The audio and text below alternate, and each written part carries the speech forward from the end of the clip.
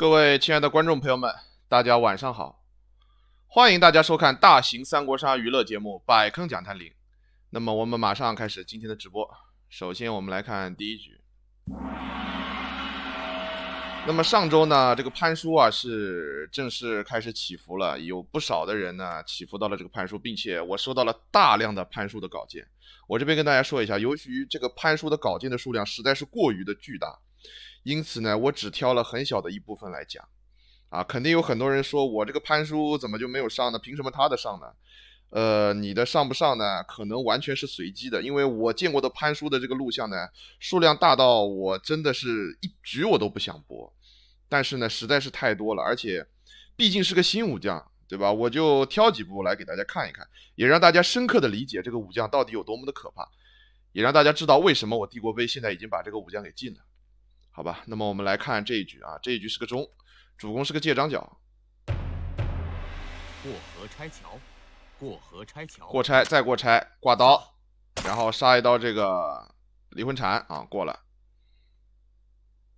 将军与妾做离魂，然后九杀啊，基本操作，我们直接给张角回血，悠悠琴音，人人自醉。画堂春暖，这里曹丕是顺的下家，是反贼。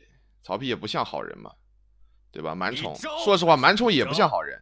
本来这个满宠没啥用的，功能还跟曹丕重复了，结果现在有个离魂蝉，哎，他突然就变得厉害起来了。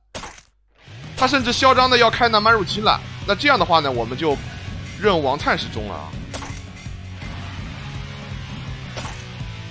抚琴多弦，悠然自得，一弹一拨。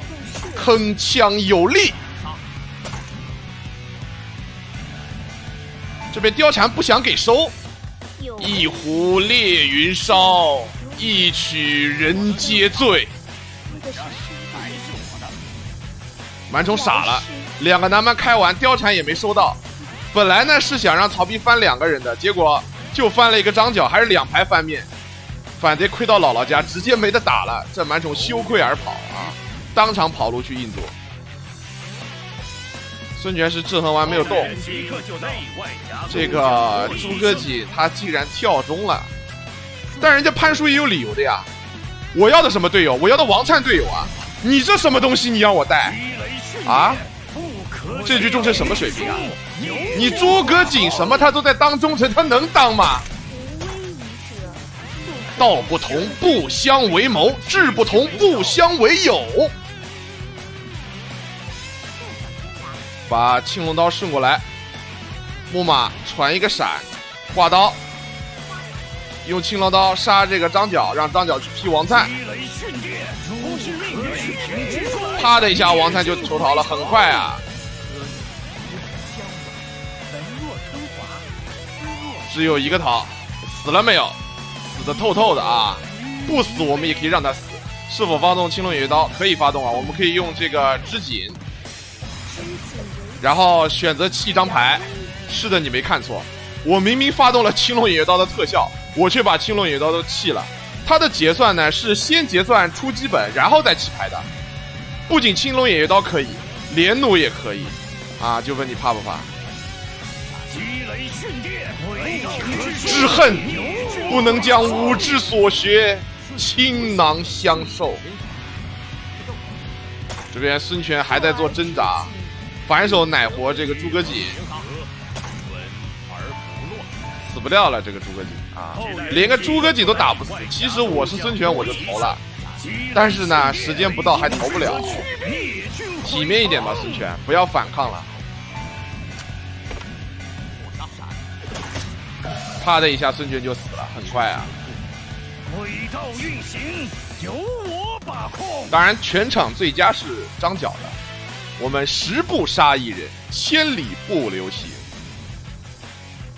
事了拂衣去，深藏功与名。我们来看下一局。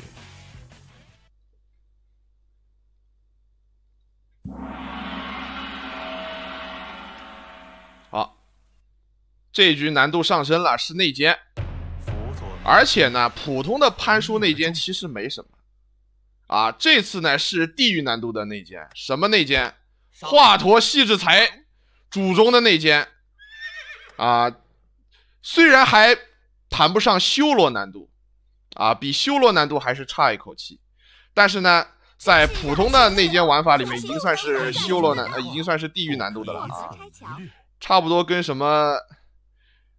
呃，跟什么神官雨中之类的差不多一个一个层次了。我们来看一下这一局怎么个玩法。顺手牵羊，好，顺手牵羊，双顺手生有，决斗，还有决斗哪个敢挑战我？铁索连环，这里的话，吕布是跳了一手然后刘备虽然没有动，但是他没有仁德，呃不是我的对手。这个吕布看起来不太聪明的样子。越老越要补啊！然后我们怎么打呢？决斗吕布然后崩一下吕布细杀跳反，对，跳反打，先把反贼跳出来再说。南蛮入侵，至于反贼会不会内讧，关我屁事。你的死活与我何干？这里的话呢，我们既然要打长期战，那就先回血吧。其实呢，这个位移不回血也行，因为将来用这个锦织回血就可以，对吧？不过看得出来，他就是不想出力，他现在就是不想出这个力，因为如果你位移卖成两血的话呢，就每次都会问你要不要崩别人血，你就要出力了啊。这里的话呢，吕布在抗议这个细致才不应该添堵，你连这个普通杀藤家你都做得出来，你还好意思去说人家细致才？我看你们是半斤八两，一丘之貉。这边貂蝉自作聪明啊，觉得戏志才拆掉了，我再贴一个不是血赚吗？问题是这个乐是可以贴华佗的呀，对吧？可以贴吕布的呀，对不对？什么叫自作聪明？这就叫自作聪明啊！五五风灯，顺手牵羊。这个局肯定不能心急，要慢慢打。这里的话呢，反贼觉得自己有优势啊，想要强偷这个华佗。然后呢，他在打的时候呢，还把这个刘备给连累了。为什么会发生这种事情呢？因为在反贼眼里，刘备是内奸。我就跟你说，刘备前面不仁德，肯定要被误会的。那就对吧？我们内奸跳反，我是为了占你反的便宜，你反的内不内讧关我屁事。人言立火，所以说呢，这一局跳了反，反过来还让反贼内讧了。不过呢，还是不好打。这边刘备这个藤甲非常的暖和。其实刘备自己是反贼，他穿藤甲本身是为了想要帮助这个关云平的，但是他又没仁德跳反，你不跳反，你让关云平怎么信你？对不对？在我们也来个铁索连环，那好啊，他铁索我也铁索，战火燃尽，英雄胆，尔等竟如此歹毒！人吕布死掉了。不可能！不过呢，要想把细日才跟这个华佗给打崩，还是没那么容易。啊，而且如果华佗真的死了，那接下来我们就要出力了。其实我们并不想出力啊，强行九杀，这手打的还是比较冒险的。昔日才刚才不是出了个明桃吗？这个乔起九杀几乎就是给送牌。但是呢，我觉得主视角有可能是故意的，他就是想要做出一副不杀掉华佗誓不罢休的姿态，然后呢，逼的反贼跟着一起去杀这个华佗。其实我们已经跳过那了，因为前面没有给貂蝉回血。同归于尽吧。这里的话呢，关于平可能对这个思路非常的不满，但是没办法，现在反贼已经被内奸绑架了。这个貂蝉其实现在没什么大用，不过呢，他的确还是威胁到主公的，因为貂蝉可以把华佗的牌撸掉，但是我们到时候会出这个桃去救主公的。有个无懈，这里我不太同意丢无懈啊。对于潘叔来说的话呢，基本牌其实不值钱，无懈可比基本牌值钱多了。如果你实在想留个真桃，你就把酒丢了嘛，对不对？貂蝉又撸了，他又撸了。华佗这个时候呢，还是没有意识到是时候炸内奸的草了。但是这帮人可能压根就没看出来潘叔跳过内了，潘叔没给貂蝉回血。这么小一细节，就就他们打的这么热火朝天的，估计是真看不出来。反贼还在一门心思的这个打华佗，反贼已经是死局了。因为反贼既不能打细致才，他也不能打华佗，更不敢惹内奸。这个时候敢惹内奸的只有忠臣。南蛮入侵，啊你们看不出来我是内奸对吧？那我就跳的更明显一点。你已无话可说了吧？一筹一画，给主公回血是不可能的，这辈子都不可能。这边关一平内下呢，还是省了一发，不能不能跳内过渡，跳内过渡在反贼眼里变成跳中了，那又难办了。寒冰剑骚一发，然后自己回个血。其实你会发现，这个基本牌根本就用不完，对吧？还是无懈可击好。符丸是明显是来顺刀的，就没有管。这个场风实在是太好了，好到运筹帷幄之中，决胜千里之外。借刀杀人，乐不思蜀。然后细致才失去了华佗，其实呢已经失去了所有的一面了，他根本不是潘叔的对手。所以说接下来呢，潘叔要小心了，小心主公仇内。虽然我不是说这个主公会仇内啊，仇内毕竟只是一小撮腐败分子所做的事情，真正仇内的人其实还是没有那么多的。但是你打路人局呢，千万小心。有威所以说呢，该给主公回的血就不要吝啬了。主公现在其实就是个傀儡，对吧？你跟一个汉献帝置什么气呢？对吧？如果我是主视角，我直接拿我直接拿刀喂他了，我根本就不会去炸他这个酒的。真的，你说你跟一个汉献帝置什么气？但是主视角显然放完位移之后呢，就觉得自己对主公仁至义尽了。其实不是这么说的，你的胜负完全取决于主公送不送反。主公如果强行送反，你是要输的。你明白我这个意思吧？杀！这里的话呢，可以故意出闪，这样可以反手磨溃他。啊，因为马上新的一轮又刷新了，这些牌全部都是套，我每一张牌都是套，你奈我何？显然这个主公还是在一门心思打反。这波是断杀了，手里一个名酒。这边的话呢，可以卖血的，等一下用白银狮子回血就行了。观音屏发现了滑点，如果一门心思打细致才，潘叔就无脑救细致才，反贼永远没有出路。反贼唯一的出路是两个反贼一起围殴潘叔。如果主公不肯帮潘叔，三个人一起殴，或者两个，或者不要三 v 一，就一 v 一 v 二，对吧？我我主公不帮你，你两个，你你这个你这个潘叔只是出基本盘，你又不能出锦囊，潘叔还是有一点点危险的，对吧？但是观音平悟到这一点的时候太晚了，一切都太迟了。这边的话呢是强行三张牌回个刀，马不能被射。这里的话呢，潘叔为什么没有出这个锦之呢？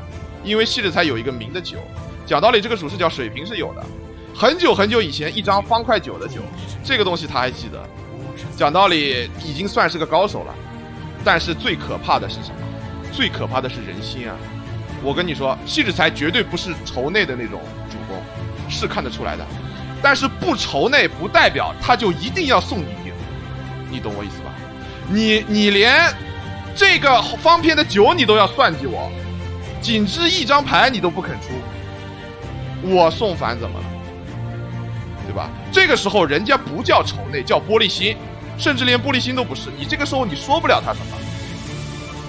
你是潘叔，你就大方一点。我不是在危言耸听啊，打牌啊，真的不能什么都都都这么自以为是，尤其是打路人局。你要是打个群内吧，可能炸也就炸了，没什么。群内或者比赛，如果如果如果他有酒不吃什么的，要么被骂，要么会被判，对吧？的确是没有人会说你。但是如果打个路人你都要这么玩的话呢，我只能说你太年轻了，还是没有经历过社会的毒打。那现在的话呢，其实就是吊打。我实话跟你们讲，这一局后面的垃圾时间很长，但是呢，尊重一下主视角，我还是把它放完。垃圾时间长的原因，就是因为潘叔啊，他不能变锦囊，所以说打起这个细致才来，有的好磨了。什么八卦阵一带，加一马一穿，不知道磨到什么时候去了。但是呢，细致才打潘叔是半毛钱机会都不会有的。现在的话呢，潘叔呢，他想什么呢？他想寒冰剑，把细致才拆拆光，然后呢，找机会什么古灵刀九杀之类的。但是细致才如果回到满血，古灵刀九杀也打不死。所以说呢，就别想这些了，一刀一刀磨，一刀一刀打就是了啊！你藏这么多牌其实没用的，都是白给，哈、都是白给。比如说他现在，这这一判黑，他一个木马就没了。但是潘叔是不是遭受到了很大的损失呢？没有，一点都没有。啊，我跟你说，潘叔的内心只想笑，你们的挣扎不过是苟延残喘罢了。最后这个细致才含恨而终。讲道理，细致才牌品真的很不错。我不是说呢，他不就是被反贼打了，吃了个酒没有坑内吗？这也要夸。我跟你说，如果是在平时，不值得夸。但人家细致才到最后都还在努力，一直没有放弃，我觉得还是不错的。相比之下呢，主视角呢挺大意的，啊，如果你真心想玩路人局的话呢，千万千万要小心，啊，有的时候真正的敌人可能是你自己。然后我其他的潘叔的主视角呢，我就不放了，我知道还有很多啊，你们肯定不满意，但是我跟你讲，刚才那两把已经算好看的了，还有更臭更长的。啊，接下来我们看下一局。这一局的话呢，虽然不是潘叔的主视角，但是呢，的确还是有个潘叔。啊，忠臣是一个二次元，主公是一个潘叔。好，我们看看这局又发生了什么。道之行，气象万千。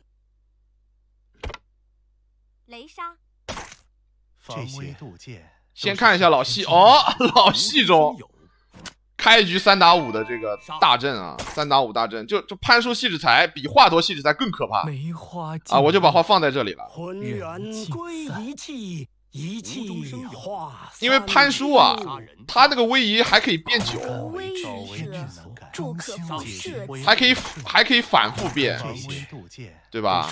不是位移那个景之啊，这个左慈拿了个连弩，你想干嘛？你想捅西致才？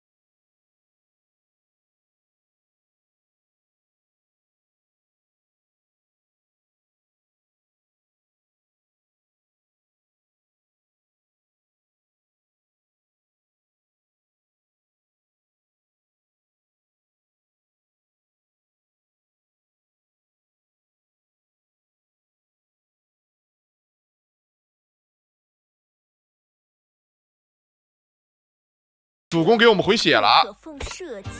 主公给我们回血了，主公信任我们，还有的打。其实曹植这个打法也挺向内的，还真不知道呢。好，不错，这个铁索连环，我个人是建议锁住啊，就不要换了。梅花尽落，无中生有，这你能让皇祖摸牌吗？强攻晚之，不能让皇祖摸牌的。强攻晚之，主公只要再吃一刀，就真的死了。啊，二次元，海的那边全是敌人，你不用指望这个内奸会帮你的。所以说，皇祖就算是内奸，你也得打无懈可击。更不要说李傕跟曹植里必出一内，李傕打法就是明内打法，曹植作为一个反贼，他不打主公打你也很奇怪，对吧？当然了，曹植有曹植的理由，打死你反贼能大优的，对吧？火攻有威仪者，这的话也顾不上谁是谁了，打就完事儿了啊。这个李觉不砸主公砸你，肯定是内奸了。不过李觉这局真的是挺可怜的，千辛万苦打死个细致才，这边又冒出一个二次元？双拆，曹植又发财了呀！而且你把连弩丢给曹植了，这样真的好吗？这样不太好吧？主公吓得赶紧穿藤甲了，兵粮寸断。主公看到李傕跳内了，所以不忍心兵李傕了。李傕就这样过了。潘叔啊，你这就把藤甲丢了，大意了吧？曹植，曹植转念一想，这李傕反正已经跳内了，没什么用了，看我不弄死他！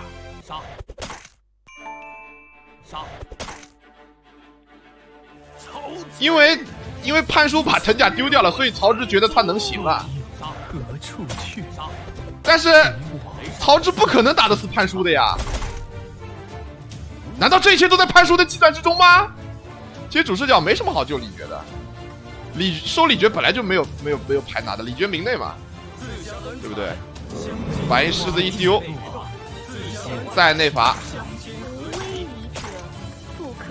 反手两个清闲。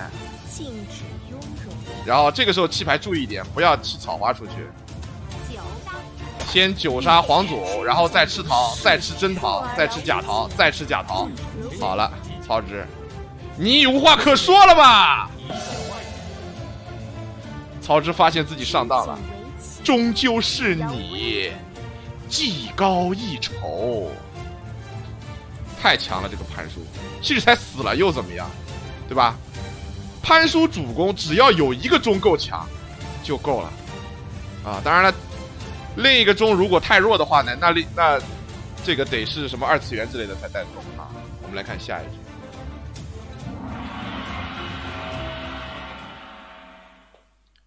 这里再额外说一句啊，就是潘叔啊，最近我估计投稿的不会少的。我这里奉劝大家一句，如果你想投潘叔潘叔主视角的话呢，除非特别特别好看，否则的话呢，我可能就不收了。你还不如投个别的，对吧？好，这边黄盖来了，只不过，只不过，只不过，哇，这老骨头，多亏你们看，我看到了什么皮肉之苦罢了。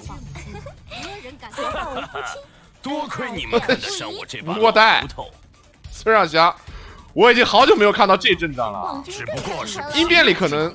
还还多一点。没人敢造。结道俊真已经很久没有人选黄盖人。乃上天所好，这边陈玉打两下，不敢打死，再跑到夏侯氏那边打两下，打完接着苦这是为了把杀清掉啊，让那个土肉的成功率高一点。多亏你们看得上我这把，不过是皮肉之苦罢了。结道为多亏你们再来。再来，多亏你再来，这失败率也太高了吧！你别最后直接给苦死了，喂！要不还是出两张杀吧，但是他又不敢。你你总不能去杀夏侯惇吧？人家刚一下把你连弩刚没了，只不过是皮肉，对不对？多亏你们看得上不过呢，九桃的数量还是蛮多的，这个太失败了，多亏你们看太失败了呀！刚才还把决斗补一掉了，血亏，不敢苦了。这 真的不敢苦了，这牌太烂了，不敢苦。了生于清简，哎呀。这是什么操作？敦哥竟然跳中了，真的假的呀？啊！只不过是皮肉之苦罢了。关键是他补了个九给我们，又失败。结发为夫妻，恩爱两不疑。敦哥，你该不会是反贼装身份的吧？我觉得很像，实在是太像了。说实话，被迫无奈还是把陈玉捅死了，捅出来是个反，还不错。但是你还是还是有可能杀错人啊！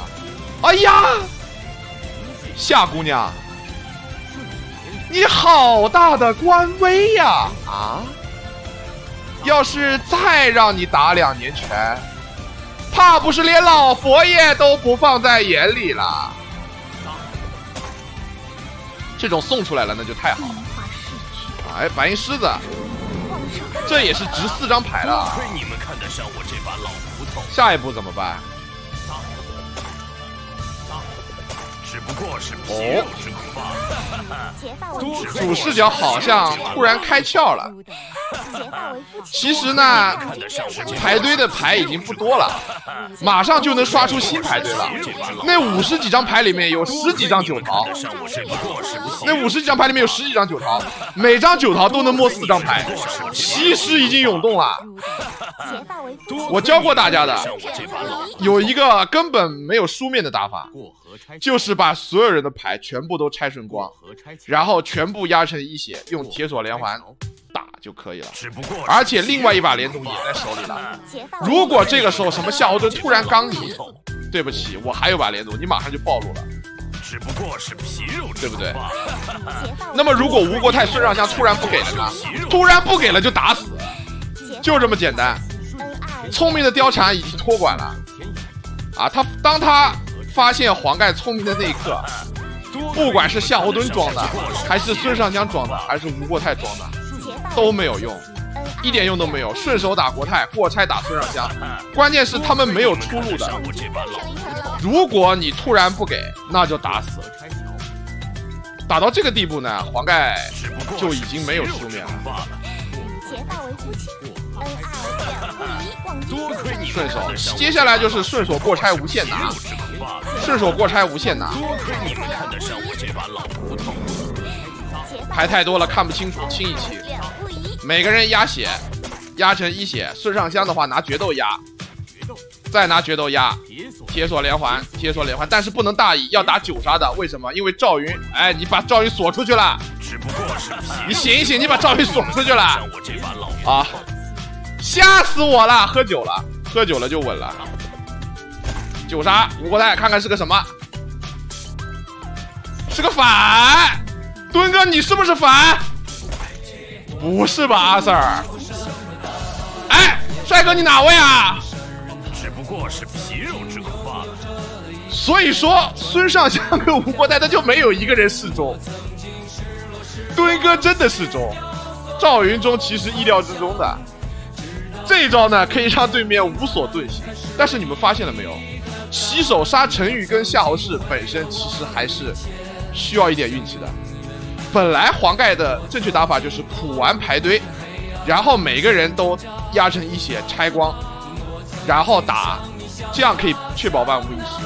但是他狗运太差了，起手的九桃被他全部耗光，大概补一失败了十次，普通的黄盖根本不可能这么背的。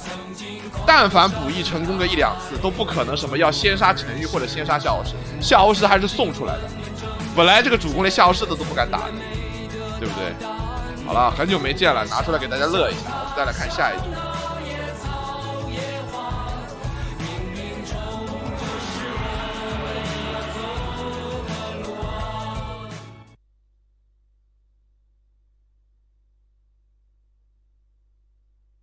好，这局是一个布置。洪德。薄礼一份，直接给郭嘉郭嘉一记吗？一记了，但是没有后招了，最多铁索换一张。这刘备也不想不信，对吧？哎，这个小事，无中生有，小事跳中，那可不是好消息啊！而且夏侯氏跳了中还跳的有模有样的，我乔石跟烟雨都能跟你配合，难道不是神中吗？夏侯氏真的去顺无疑了。什么？夏侯氏跳内了啊？那你跳吧，君初相识，你跳了就别回来了啊！故人归。乐不思蜀，吴亦凡铁索连环，这个铁索连环怎么不顾及及陆逊跟甘宁的呀？这个张飞张飞才是内奸，夏侯氏反贼啊！挂把刀，然后贤结营。其实呢，布置被劫营也是能发动两次洪德的，所以我不知道这个甘宁是咋想的啊，火攻就真的去劫了。雷杀，无懈刘备哦，给牌，再给牌，连弩来了。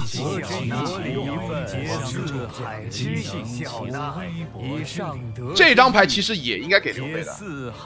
刘备来决定这张牌是给你还是给郭嘉，因为刘备，因为连弩是刘备给你的，所以刘备知道该给你什么，不该给你什么。如果是个闪，刘备自个儿留，他不香吗？对不对？为什么要歧视刘备？这边洪德，这次洪德肯定给郭嘉了，要跟郭嘉刷啊。有个铁索，这里的话呢，主视角选择比较疯，就是不不解锁自己，直接往外置位锁了，这样打也不是不行。但是呢，我个人是不建议这么打的。为什么呢？因为首先啊，这铁索连环更多的是希望去打九杀的。其次，你的血可以派别的用场，派什么用场？定判呀，对不对？你说你夏侯氏有白银狮子，你去锁他干啥？九杀都打不出来的。先刷郭嘉还是先定判？应该先定判。为什么？定判了以后牌给郭嘉，郭嘉就能给更好的牌给你了。桃子拿去喂郭嘉，就是你不要定判四次，定判自己定判三次，但是因为自己在锁里，所以说定判自己只能定判两次了。早做准备，主动神有，再来有南蛮入侵了，有南蛮入侵之后，为什么不先开南蛮入侵呢？对吧？这个锁就这么破掉了，它真的值得吗？对吧？这个不打个九属一杀，你对得起谁呀？啊，南蛮入侵不开，当然现在简易有了，解锁连环，他还是不想开南蛮，为什么不开南蛮呢？桃没有了，所以不开南蛮。那刚才有桃的时候干嘛去了呢？对不对？先把陆逊宰掉，再雷杀。不过一直没有看到九，也是蛮可惜的。你会发现反贼死了以后少了一发定判，不知不觉之间定判少了一发。等你想起来定判的时候，已经只能定判三次了。啊，定判用完。本来的话呢是可以把夏侯氏的减一定判掉的啊，不是减一，这个是个加一啊。不过用过拆了一样啊。那么问题来了，为什么不锁夏侯氏呢？那么问题来了，为什么去锁一个死人呢？那么问题来了，夏侯氏都帮你喂桃了，你为什么还是不出属性渣呢？没有这么多为什么啊！只要我开心就好，哪管这天下洪水滔天，在数量面前，排序毫无用处。那么问题来了，你南蛮准备留着下崽吗？啊？太牛逼了，直接把张飞砍死了。好的，南蛮入侵不开了，那你为什么又要开呢？早做准备，反内都死光了，你开了啊？你觉得你又行啊？其实这南蛮肯定开的，不开你都打不死萧氏。过来两个决斗啊，郭嘉的牌也是非常的好。过河摘桥，无一啪的一下就投降了，很快啊。其实呢，无疑不投降也没用了。你们再看一下郭嘉的牌，郭嘉的牌够这个无疑再死三次的。说实话，布置，你是我，你是我这个收到的布置的投稿里打到现在最烂的一个主视角。大部分的布置主视角都有一两手的错手，但是呢，因为布置郭嘉跟布置刘备，他的排序还是比较复杂的，没有那么简单，有一两手错手是很正常的。能够从头错到尾就没怎么打对过的，还真是不多见啊！你别怪我说的那么狠，这个既然你愿意投稿给我，那我就必须实话实说，希望你能够有所进步。我们来看下一局。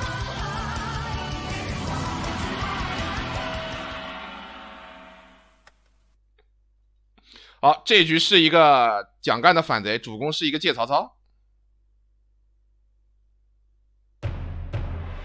乐不思蜀，决斗，然后蒋干倒是有那么一点克接曹操，但是你这个二号位蒋干吧，就不算特别克。得此一般来说，丞相定可高先杀杀看，对吧？你还送闪给别人，宁叫我负天下人，当然他也没辙天下人负我。就二号位蒋干其实一点都不克曹操。这曹操的牌你又不知道哪张是名牌，当你知道曹操哪张是名牌的时候，你的回合都过了，对吧？正机开南蛮了，标郭嘉啊，当然了，这个等级低嘛，那个没有好将。这边还有一个关锁，这个给主公打无懈是个什么操作啊？看不懂。郭嘉又来一万箭，马良人快没了，非常的惨。聂雄好梦中这波防九杀防魔怔了，马良太惨了，能出来吗？关锁反贼，自己的马良中乐。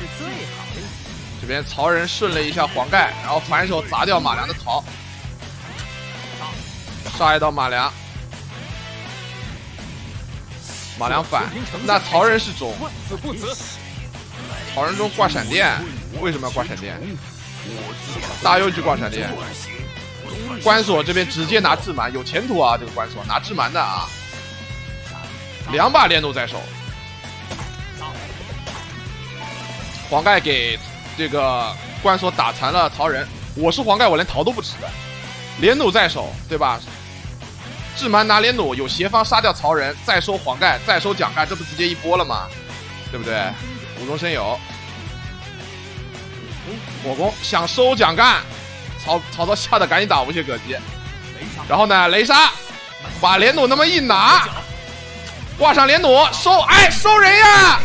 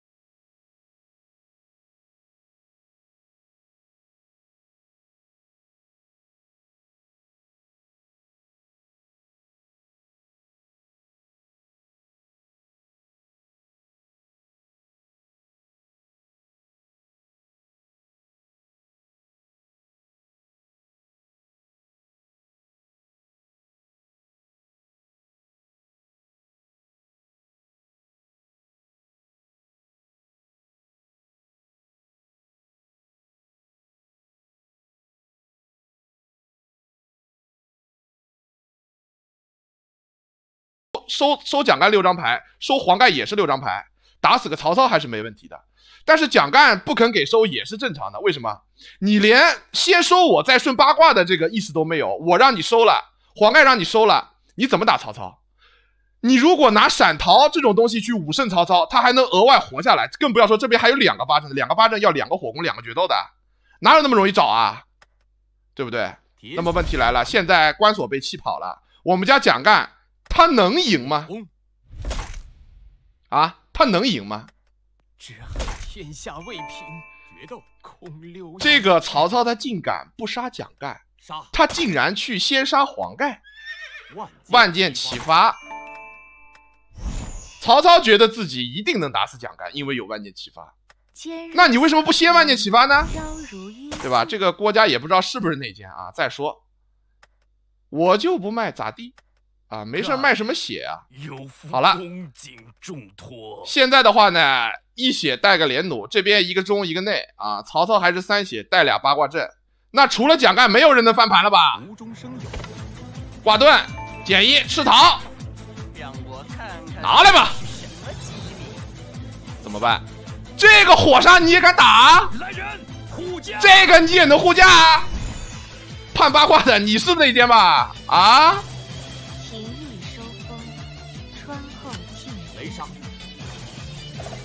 啪的一下马就没了，很快啊！兵粮寸断，这怎么办？没想到吧？这个甄姬把我们连弩射了，但是丢了火杀，他真的是内奸。也许他刚才是第五层，他真的是故意判八卦的啊！那怎么办呢？攻其不备，摧枯拉朽，势如破竹，铁索横江，亦难打。这个甄姬还想炸桃呢，结果压根就没有，根本就没有桃让他炸，直接曹操给偷死了。需要关平吗？啊，需要关锁吗？需要那种东西吗？对吧？需要马良吗？需要黄盖吗？需要连弩吗？啊，我只需要活着。有的人死了，他还活着。我们来看下一局。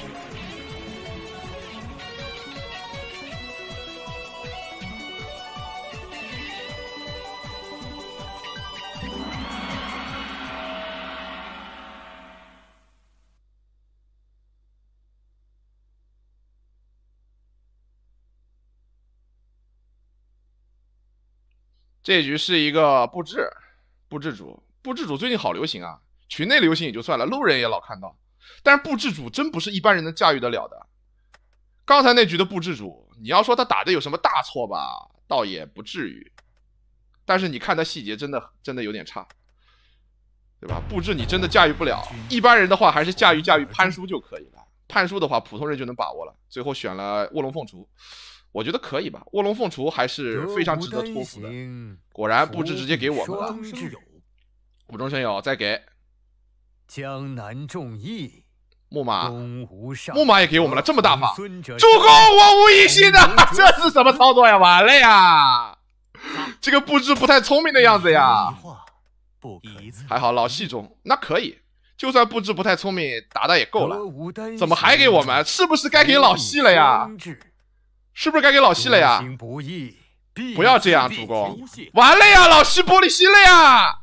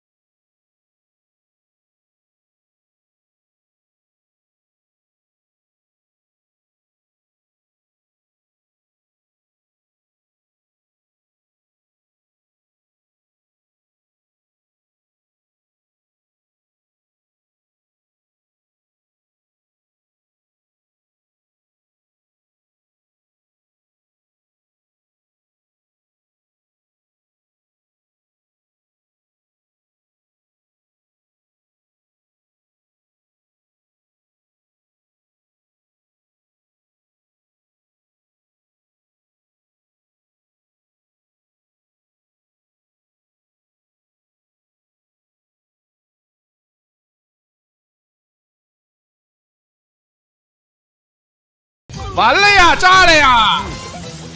无中生有，无中生有，被拍无懈反无懈。这个其实开无中之前可以考虑先把万界打出去，把无懈给击掉啊，顺手牵羊，顺手牵羊，顺到连弩了。龙运九天，射江海，开南蛮还是开万界？他开的是南蛮，他可能是怕主公有危险。这个局呢，我的话我会激进一点，直接放万剑了。一日本事，断不让蜀军来犯。不急着打九杀，反正能打两刀的啊。好，又来了，火攻看一下，可惜了没有拆。强乐甘宁，希望布置能正气一点啊。火攻，过河拆桥，先火攻再过拆，然后定判这边白嫖马良，然后再定判自己换刀，其实这个布置的打法没有什么太大的问题，还算是基本操作是有的，对吧？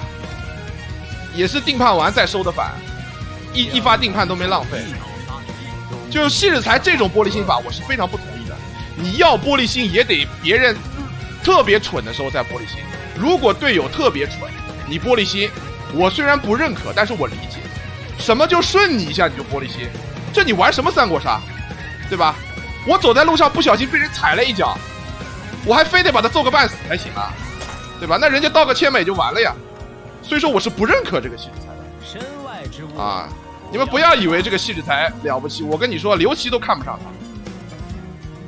要是布置真的蠢到牌打不来，你玻璃心也就玻璃心了。但人家就是顺了你一下，有什么好玻璃心的？这你也要玻璃心？真的就是连社会都没出过。慢着，让我来好嘞。好，顺一下，再顺一下，然后吃九打铁索九杀。这波的话，表面上看布置很危险，其实刚才我们那个游龙的桃还没出过，对吧？游龙桃还没出过，所以说布置其实是安全的。游龙桃出完，我们还能变无限。总的来说，主攻威胁不大啊，危险不大。这一轮打完之后，到外到第二下一轮，我们还能再再用游轮出逃。所以说最后呢，甘宁也是没有挣扎，直接投降。能打吗？又不是不能打。七指才玻璃心我都赢了，内奸直接挂机，直接去死我都赢了，有什么不能打的？能不能打都在你一念之间啊！如果你要玻璃心，不要给自己找借口，那是你的问题，不一定是别人的问题，至少不全是别人的问题。我们来看下一句。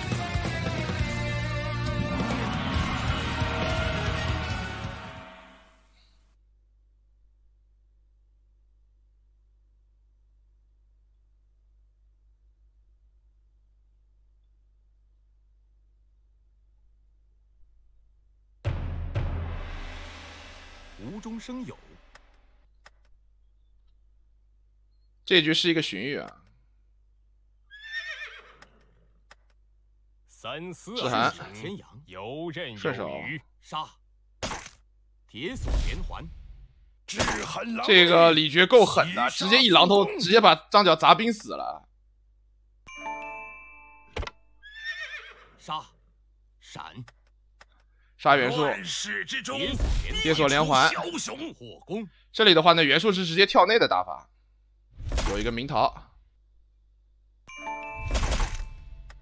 没地方接啊！这不可无解。身份已经出来了，中跳了，内也跳了，所以说后面是连反。那么不管张张普把牌给皇祖还是给无疑，对我们威胁都很大，因为我们是明中。但是如果我们跳了反，这个局面就不一样了。袁术有点懵，一怒之下九杀张角。再见，张角。天书无效，子欲人心难拒。住张张普，铁锁连环，铁锁连环。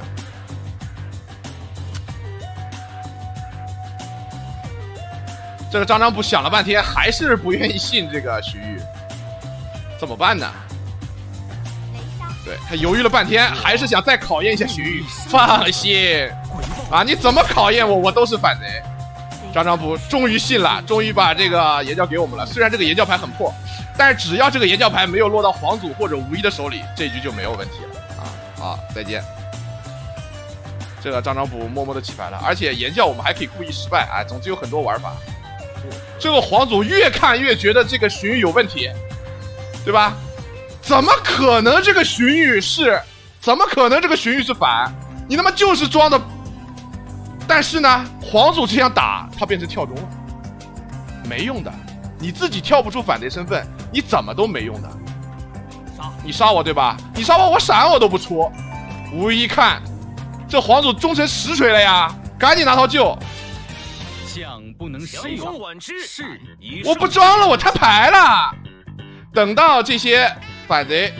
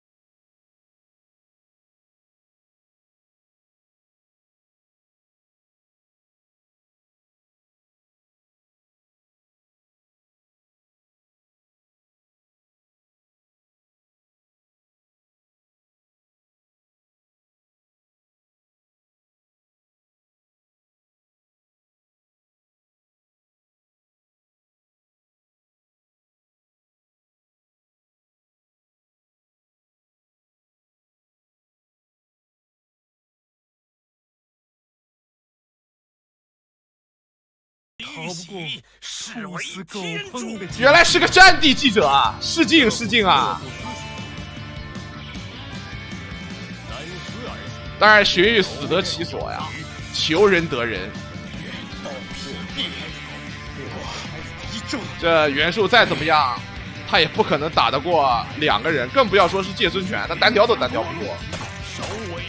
李傕太强了，哎呀，这狼牙棒砸的，头都给你打爆了啊！袭杀速攻，最终啊，还是非常轻松的赢下了这一局。我们来看下一局。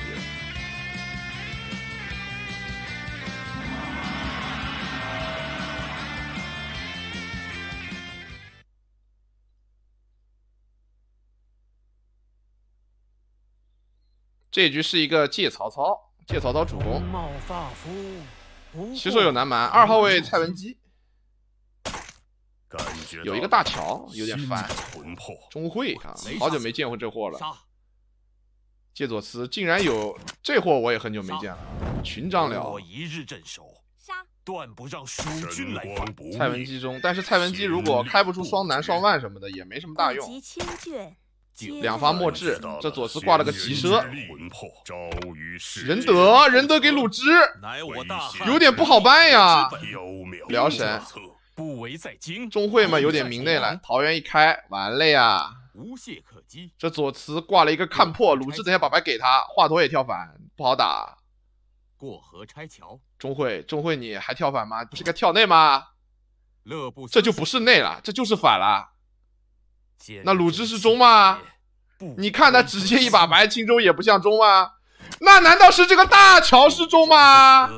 中大乔琉璃给我们了，又跳一板，是什么者胸怀休大志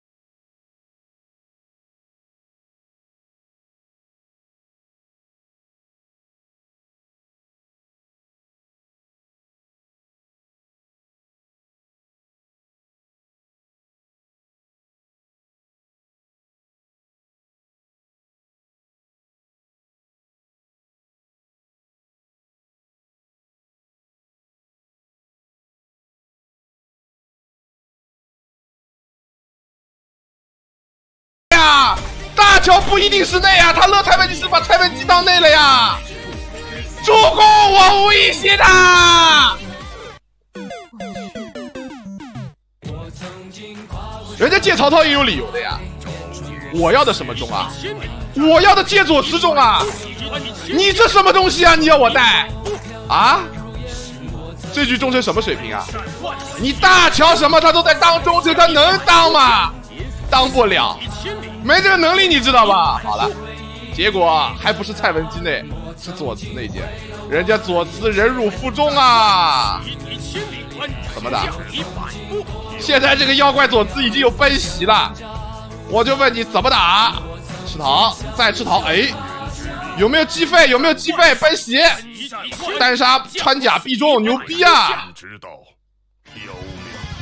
太难打了，吃桃。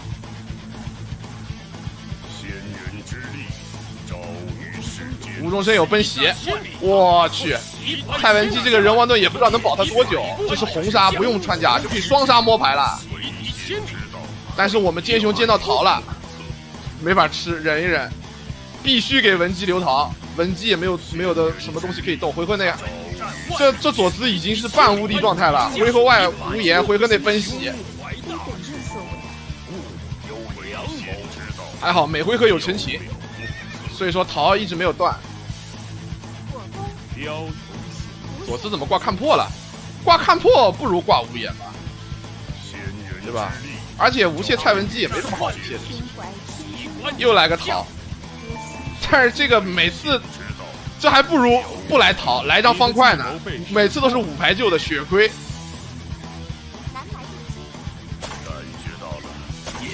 剑雄来了个无中，万年奇葩不敢放了。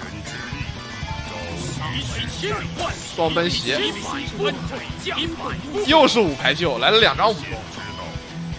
左慈看破，还有一发，还有一发，又来个桃，但只能吃一个，不能吃两个。完了呀！这左慈越来越离谱，桃被人偷了，怎么办？木马传闪给蔡文姬，但是传闪其实没用的，左慈有奔袭的。奔袭，奔袭，还有最后一点点双拆，全部都给你扒光。这左慈打两个绰绰有余，打三个都可以啊。就曹操跟蔡文姬这种半白板的话，强杀。神光不灭，这左慈故意故意没有闪。铁索连环，这怎么不分析铁索的呀？浪费无限啊！这个这个左慈啊，雷杀，雷杀，陈奇有没有？陈不出来，死了呀！这游戏能玩？闪电，闪电，这边就靠这个闪电了。但是左慈有无言，有看破。这个对他真的有用吗？这左慈回合内会挂什么呢？挂看破，然后拼命换化身，不是吧，阿 Sir？你都有奔袭了，你还换什么化身？直接用无言不就得了吗？对吧？干嘛用看破呢？但是他，但是这个左慈啊，真的就挂无言了，他就挂无言，他就挂无言。对吧？他就挂无言，你能奈他何？你奈我何？就挂无言，那这个闪电不就是个负的？打也打不中，劈也劈不死。问卦，你就不怕问卦把你劈了？可是没有劈他呀，怎么办？无中生有，为什么不打无懈可击呢？因为这个八卦阵是明的，要死了。但是左慈问卦完以后摸到九，他要九杀曹操。没想到曹操有后招，这边还有裤裆里还有一个九没有死掉，没有死掉，那排队顶就不是问卦牌了。左慈继续挂无言，不是问卦牌了。南蛮入侵也没有用，青钢剑也没有用，还是只有一个闪电，该死还是要死呀！无言奔袭，不可能。我化身天下无敌，只有我杀敌的份儿。怎么可能被敌人杀呢？所以说左慈你到底在干什么？你不是早就有奔袭了吗？还在搁那换化身换化身？你就用奔袭不就完了吗？怕闪电你就用无言，用什么看破？看破不是亏一张牌吗？有桃了就回合内挂奔袭，中闪电了可以可以摸三张嘛，就摸三张化身，然后吃个酒还能奔袭，对吧？如果如果没有九桃，那就用无言，你无言曹操能奈你何呢？对不对？就凭什么会输？你就告诉我怎么输啊！这边恭喜曹操，看来这个白板四天王又要多一个了啊！借曹操太强了，我们来看下一个。我就不知道这个左，我说跟你们说实话，这个左慈我都不知道谁能打得过。在我眼里，这个左慈已经没什么人能打得过了，啊，就是内伐曹爽来了都得死。好，我们来看这一局，这一局是一个马谡，马谡选什么呢？张松吗？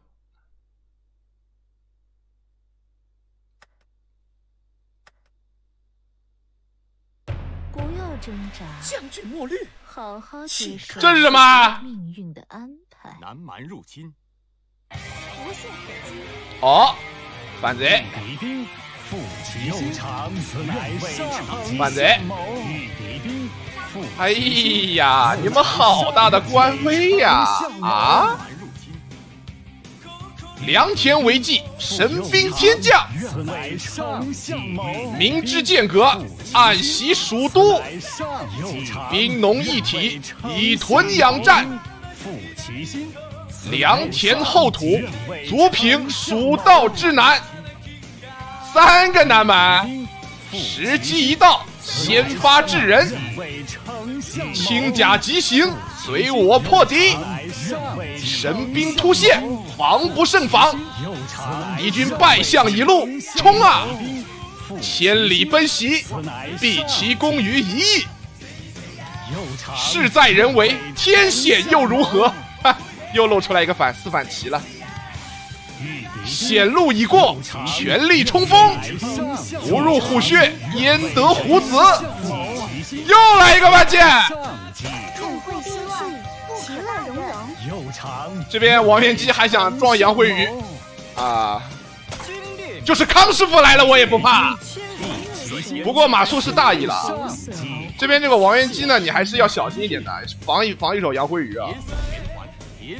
水淹七军，祖父已逝，太强了，这边反贼都跳了，随便打了，出其不意，出其不意。哎，不敢打死，啊怂了，不敢打死。再铁索连环，木马，木马传个桃给我们，然后冰凉贴上去，然后强行冰杀。这个是怕悲迷糊拿刀救他，然后自己杀掉一个杀掉一个钟，然后弃牌了。可以，这新鲜你看内奸这么跳，帮反贼打刀啊，帮反贼打刀太傻了啊。果然都是反，但是这个陆逊没有跳过反。怎么说，就一手防青中，制敌千里，可以啊、有大局观的呀，这个张总有操作的呀。那既然张松选择不打，那就不打了。料哎，这个马谡，我还在想他那个菜肴不准备放了，砸自己再砸我了，然后再吃桃回起来是吧？不浪费牌啊，强行秀了你脸，太秀了。然后这个王朗不知死活，你要么就投了，要么就装到底，至少能把陆逊污出去，装一手把陆逊污出去，说不定马谡一杀牌直接弃光，谁让陆逊他玻璃心呢？所以我跟你讲了，玻璃心这个东西多可怕。如果你们允许玻璃心存在的话，那么什么借口都可以玻璃心，对吧？碰我一下玻璃心，摸我一下玻璃心，锁我一下玻璃心，好啊，好啊，好啊。如果你们容得下玻璃心在这里肆意放肆，那就容我橙子告老还乡了。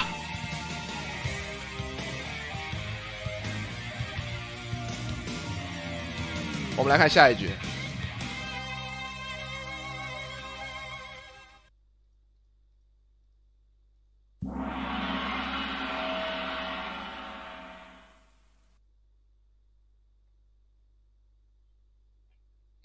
这局是个内奸，主公是一个刘禅。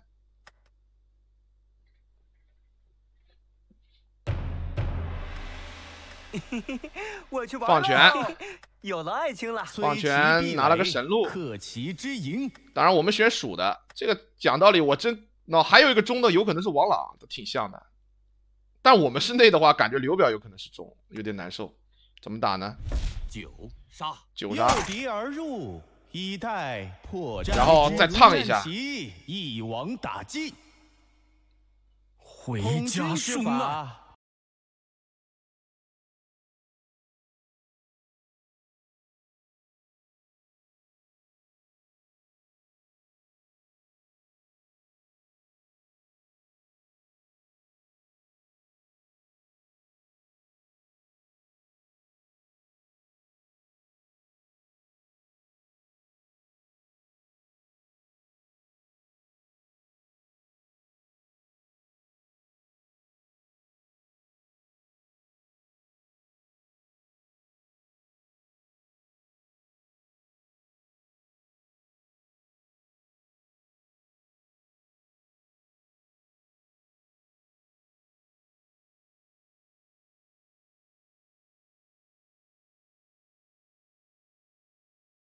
无懈，如此扎寨，牵一发。这个只能一条道走到黑了，没有别的打法了。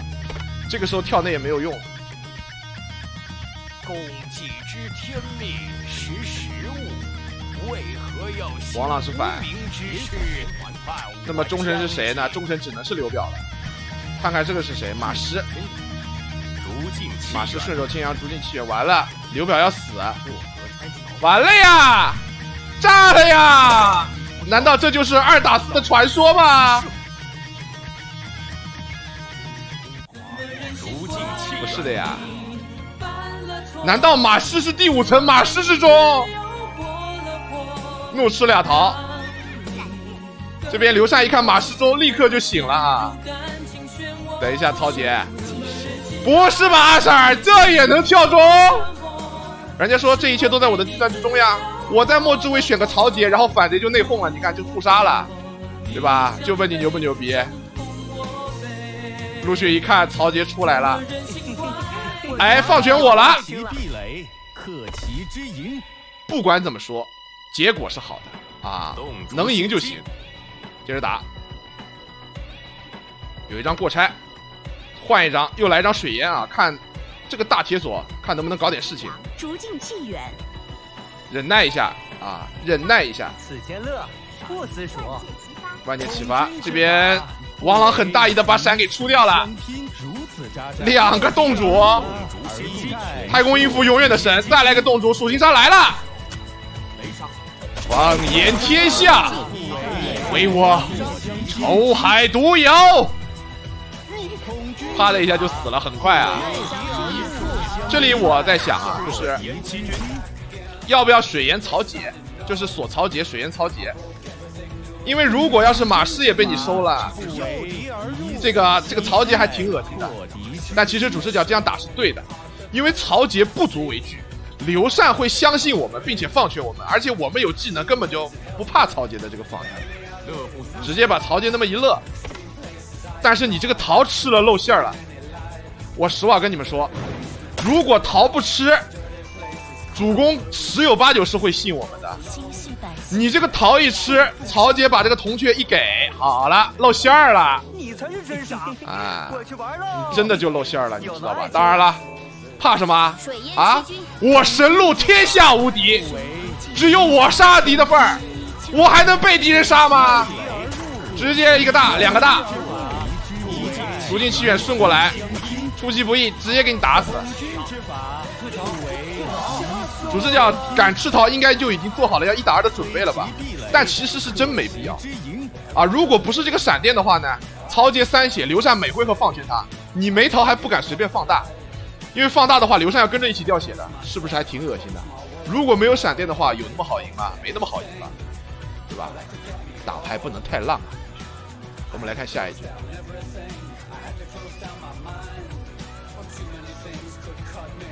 好，我们来看下一局。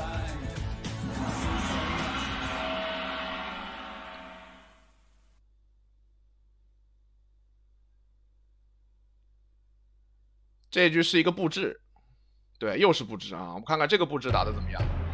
应变里的布置呢，可能会更厉害一点点。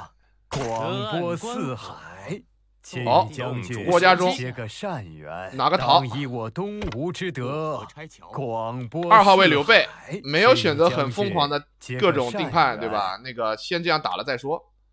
刘备仁德之君仁德东吴之德，在仁德南满萧何之功，为郭嘉效两张牌给刘备，兵杀杀，命系袁氏，一心向北，仁德之君这边赵云逃给自己，广播四又来个洞主，仁德当以我东吴之德，广播铜雀，我去，要不要这么狠？尔等竟如此歹毒！这拿主公的血去打黄月英，这个有点过了吧？这难道不是黄月英变成神州把主公烧了吗？啊，没杀，这样打真的不好啊！少年上报国家，下安黎庶，当然刘备要这么打，你也没辙呀。天下。这月英看着挺可怕的，有重瑶辅佐的，强杀国家没必要吧？就杀刘备不就好了对吧，九杀元婴被闪了，这郭嘉破不掉锁定。赵云竟然没杀闪了，卸了两张杀。哎呦，这个五谷，这个五谷难受了。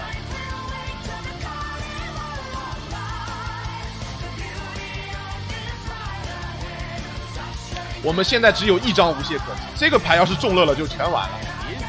这铁锁连环，这要是吃个九鼠一杀就炸了。但是为什么主视角敢搞呢？原因很简单，因为钟瑶刚才没有救黄月英，所以说钟瑶的这个红魔牌会比较少。而且还是那句话，这牌只要中乐就完了。我就是饿死，死外面从这跳下去，不会打出这张无懈可击。这里鲁智为了不把牌给刘备，在那疯狂的清牌。什么叫疯狂清牌？这就叫疯狂清牌。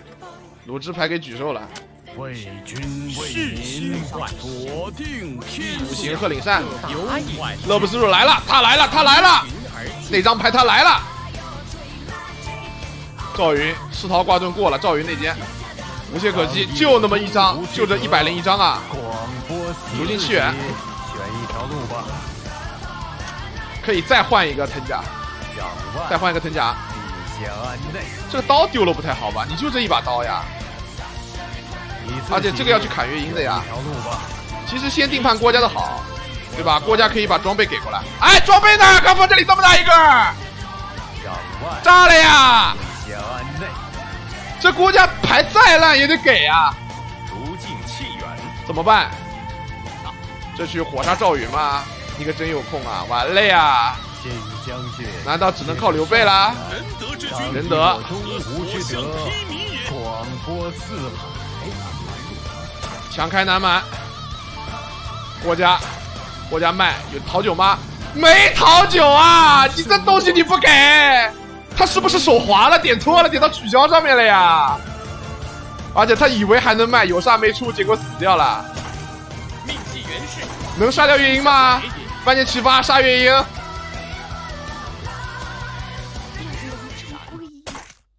心中具其意，悠悠苍天，其行，何薄于我？炸了呀！反贼已经发现月英是内奸了。其实反贼刚才已经发现月英是内奸了，因为正常的反贼不可能去打国家的，肯定是打刘备的，对吧？所以说反贼后来就没有管月英了。这也是为什么主播后来也不想杀月英的原因，为都发现月英是内奸了。怎么办？逐尽气源，没杀，天机图也没派上用场，不过布置天机图本来也不是特别好用，一般般，只能说这个牌真的还有机会吗？上您看我还有机会吗？为国效力，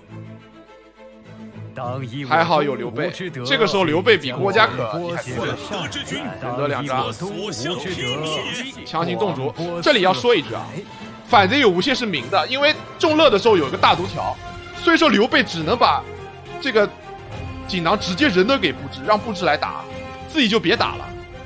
水淹七军，君为民，刚才那个动竹时候的毒条就更明显了，又白送了一张。刘备啊，上报国家，你要争气呀、我们只能靠你了。你再打得烂，就真的没有机会了。这波的话，鲁智还知道跟重要配合。天哪，这怎么玩？洞烛先机，洞烛先机，闪电闪电，火杀。欲速不达也。其实只要给布置来打就行了，布置一发定判就能直接破掉左定的。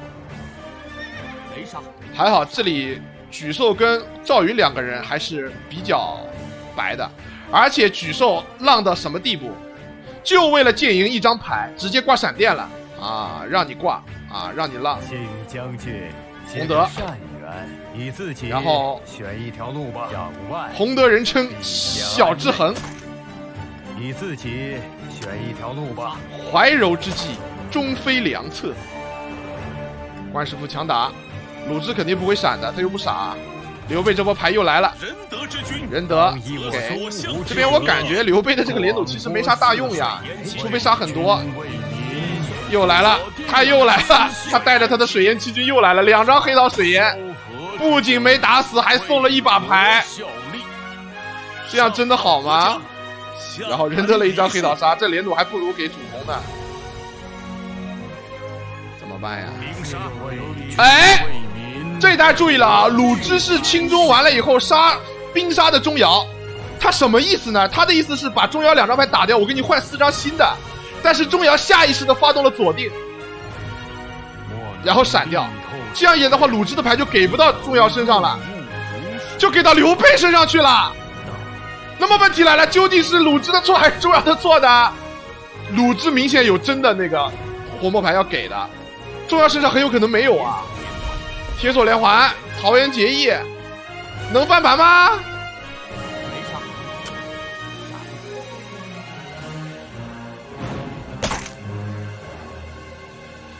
你们谁？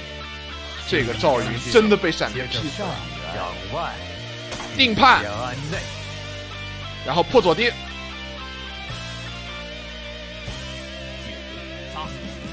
九杀钟繇。这里呢，其实也可以先定判这个鲁智，然后决斗。